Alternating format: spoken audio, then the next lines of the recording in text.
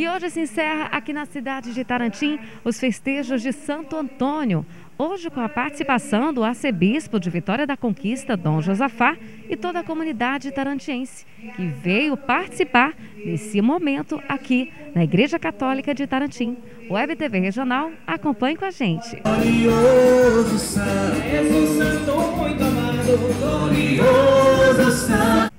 Tarantim conta com um grande intercessor, Santo Antônio, que continue se inspirando em Santo Antônio, louvando, agradecendo a Deus pelo testemunho de Santo Antônio, mas também escutando os ensinamentos de Santo Antônio, porque nós precisamos de um, um suplemento de espiritualidade para podermos fazer um Itarantim verdadeiramente uma cidade mais humana, mais justa, mais igualitária estar aqui em minha cidade, né, vivendo esse momento de fé, celebrando o nosso padroeiro, né, Santo Antônio. Santo Antônio é modelo de fé, exemplo de vida e testemunho para cada um de nós que somos aqui dessa cidade.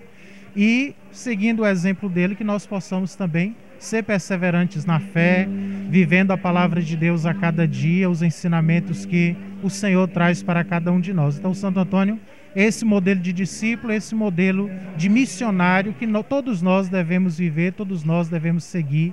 A minha mensagem hoje é de gratidão a Deus por mais uma festa empreendida, por todos ter participado, colaborado, e a nossa esperança é que do céu caia as bênçãos e graças sobre a nossa cidade por intercessão deste grande santo.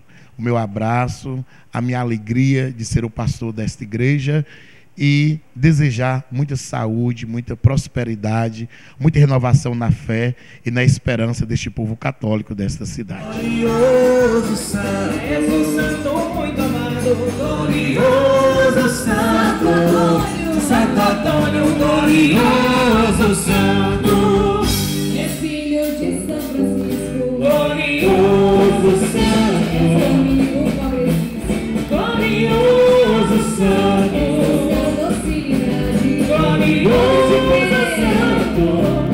за блатною морю, за